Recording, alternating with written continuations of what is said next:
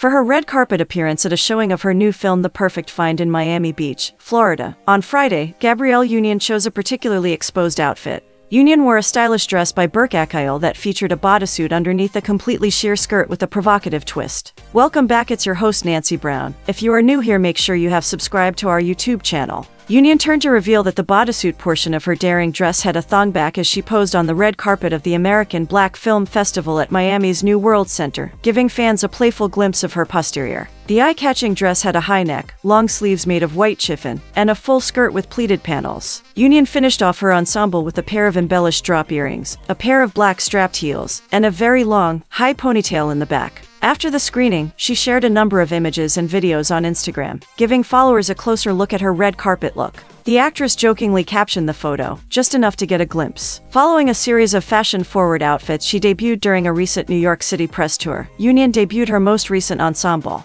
While promoting The Perfect Find there last week, the author of We're Going to Need More Wine used New York City as her runway. Union wore a Prada outfit on Wednesday that featured a special edition bag as a standout component. The actress was seen walking around with a small desert beige and orange Saffiano leather Prada Galleria Saffiano special edition bag. Union's Prada ensemble was just one of many stunning looks she wore last week while attending press events for both Gabrielle Union, My Journey to 50 and her newest Netflix film. The actress, mother, and Wade's wife stepped out in head turners while in both New York City and Miami. That's it for today, thanks for watching. Tell us what you think in the comments section and most importantly subscribe. See you.